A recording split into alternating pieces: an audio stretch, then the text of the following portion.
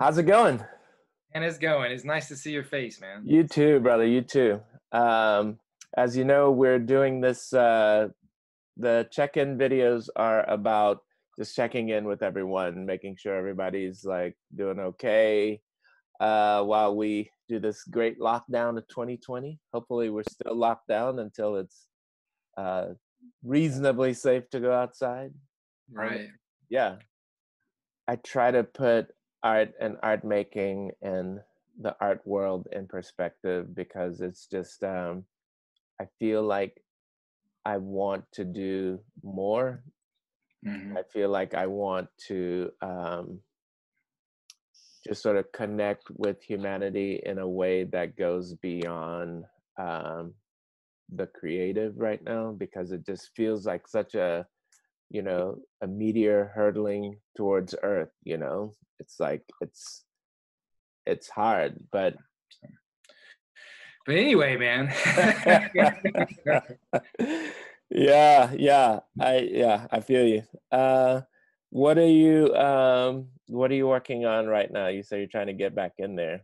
What are you working on in the studio? Yeah, you know, so it, you know, after the campaign, which um I think mentally it kind of just kills the creativity because you being a first time kind of candidate and learning how to operate in that kind of political sphere um it kills for at least for me it kills a lot of the creativity because you you become about expressing like three talking points and having your stuff speech ready at all times and going and it's all about data collecting data Yeah. um and talking and really listening to individuals and so that i think for me it, it's taken it's taken a while just to kind of feel that creative feel that creativity to come back and Yeah. you know, I, I, i've worked on a few pieces since and and for me it's trying to discover like what avenue am i going to pursue in the sense that you know the work that i was making before i, I ran for office I, I felt like it was it was leading up to that point to run and it became like running for office was an extension of the the work and Yeah. and so for me like now that that has concluded you know um, i feel like just making work artwork to just hang on walls you know instead of making such kind of more public work that i was doing. Yeah. And so and so i'm trying to think of a creative way to incorporate the my political experience in it because it's such a surreal experience to go through like you know i think someone once told me you know who your real friends are when you run for office and it was so true. I mean so much backstabbing. I was like oh wow I thought, I thought we were friends. Apparently you're not. Yeah. No I, I yeah i will never run for public office. I'm just gonna put that out there. But i i definitely understand the need to be like an active part of change in your community uh, in whatever capacity so Yeah, I, I think it's for me. You know, I wanted to prove to my community that that you know it doesn't have to be this way. Like you don't. The people who represent us are typically anointed and they're wealthy, predominantly white. you know, yeah and and you know this is a majority Latino Latina district, and and I was like, you know. I, at least I'm going to show my community that a regular person can run, and Yeah. you know we did fairly well, but you know but now it's like i do want to have talk like somehow create work that kind of talks about that experience and and what that was like because it was really kind of stressful in, in, a, in a way and and so yeah. but yeah i think the the work whatever develops out of it i think i think it it will be interesting. Or at least i'm to try to make it interesting so. Right. No i've always when i've seen your work um especially your um like political signs and your um like uh real estate style signs i've always thought it would be interesting to see it as a like you know a campaign office setup Yeah. that's actually an installation with everything that you have saying everything you know what i'm saying it's uh Yeah. because i think that work it's really it really is right at that boundary and you have to do a double take is it actually something that somebody paid for to to put out Yeah. here or is it uh is it art yeah Yeah, you know, and the Paleta cart was interesting because uh, you know I feel like that's the test mode um, or testing phase rather, and the idea is when I was thinking about it is to make multiples of them and then stick them out in the neighborhood. But I, I felt like the wording on the side of the cart had to be right, Right.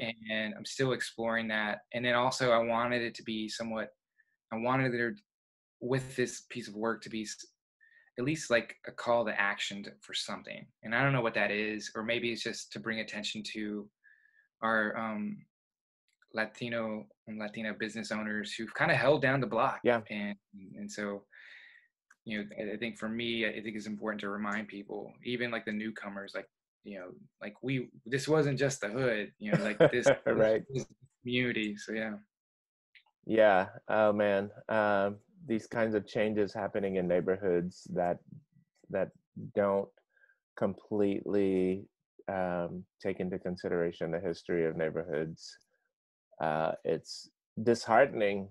Um, I mean, yeah, we don't need to have a gentrification conversation, but it's Yeah. essentially um, sort of the template. Um, Yeah. Yeah. And I think for me, it's like, it's the erasure of, of our history and culture. You know, like typically a developer will come in and, and rename a, a neighborhood, you know, to make it sound more, you know, like appealing. So yeah. Yeah, it was the uh, the New York boroughfication of Fort Worth a few years ago when they're calling things like the the East Side or the Upper East Side or south of uh, Main Right. Street or something. It's just yeah, it's but it's uh it- it's subtle but it's insidious Mhm. and it completely uh, rebrands neighborhoods so that it's easier to um, yeah displace Yeah. people it's like where, where are people supposed to go Exactly. Yeah. It was, yeah. My, I think my favorite is like when they split like two streets and they combine like the first letters together, like Sopo or Yeah. Soco. And it's like, all right, whatever, man. yeah exactly what are uh, what's the piece that you're um, gracious enough to share with us uh, for the auction it is the idea of language and how it's inherently ours as a community because you know growing up i would hear these kind of slang idioms. And for me i thought that was interesting because it it's something that the community kind of creates and only they can understand. So is it was kind of this interesting um idea about how it's actually becomes a misunderstanding of culture yeah and kind of what I was just talking about, you know, how some individuals in the community don't understand and, and then they make assumptions. And so for me, like no hay pedo, which it was always like, you know, something that, you know, in a prior life and, and growing up, I used to do like a lot of manual labor. And so I worked with a lot of immigrants. And so, you know, when there whenever there was a problem or an issue, you know, they'd be like, eh, it's no problem. No hay pedo yeah and, and for me you know it was interesting that because if you translate it it makes no sense. It the literal translation is there's no fart. And so and i don't you know i don't know where that comes from but you know but it was just like it's and that's i think that which is so beautiful about that because man that's ours like we use Right. that in in our day-to-day vocabulary and and uh you know it, it was just something i thought that was really beautiful in a sense. And and for me i became really fascinated with the piñata as far as the um the texture of it and hmm how that the it was interesting about the history of that how it was really used as a vehicle to communicate other ideas or indoctrinate other indigenous people when the spanish came in. They basically co-opted all their you know um religious and and uh cult- cultural um things. And and so they basically use that to basically um have them conform into you know Christian ideology and things like that. So I thought it was it was interesting that, it, and when I was looking thinking about it in today's terms, like you know, no one really knows about the history of the piñata and and how convoluted it is, and and and what a kind of like there's a cloaking to it, you know, like and, and I thought, oh, I could re I could I could reimagine this in a sense Yeah. that that um people associate piñatas with birthday celebrations. It's a very innocent and saccharine thing. Right. And I thought if I could put that out into the community, like people would be like, oh, that, that's really cute. Like, what is that? And then using that language to almost like this satellite that is, or radio signal that is broadcasting to a certain community. yeah. I, the real estate works, you know, that's where the, the signage came in because I thought it was two separate objects talking at each other, but talking to di- two different communities. And, and the, for me, I thought it was interesting that one was very um, textured and, and crafted, and the other one was like sleek and manufactured. And I thought that kind of an interesting kind of aspect of, of the work. So, yeah and they're both like if they're right next to each other uh one becomes invisible to the people that live there because they're like what the hell is this thing Yeah. and then the other one it's like it's like uh the uh anecdotes or stories about um first nation people encountering uh columbus and not being able to see the boat because Right. it's just like I don't even know what this thing is or what what's going on. But yeah, Yeah. but I thought, you know, for me as an artist and how much I love this community is like, all right, I got to make some work that that is for them, and and and so I decided that you know because we all get caught up in this this grind of building your CV, having as many shows as you want, right. Sorry, as you can, and teaching, you know, so that way you can get that tenure track position, and you know, and then finally I just decided that I wasn't going to do that anymore. If, if I was going to, I was going to have my own shows and I'm going, to put them out into the community. And, and for Yeah. me, that was the most liberating thing, but also the most empowering because, you know, even to this day, people walk up to me and they find out that I was doing those uh, real estate signs. They're like, that was so, I felt like you were talking to me. I was like, I, I was. Yeah. yeah. So it was just, for me, it's like, man, that was just a really great experience in a sense that, you know, and, and I think it speaks to the power of art. Like you can just, you don't need four gallery walls to mount No, you don't. And I think um, with the world that we're in the middle of and uh, hopefully will be emerging out of, um, what's on the other side, uh, hopefully, is a really strong evaluation of these relationships and um, the the power in the art world. Um, how how how how does it redefine the relationships between artists and galleries how uh, Mhm. does it yeah consider the the place of museums in public spaces and we're going to be talking about all of that Yeah. so we'll see see how it comes out on the other side Yeah.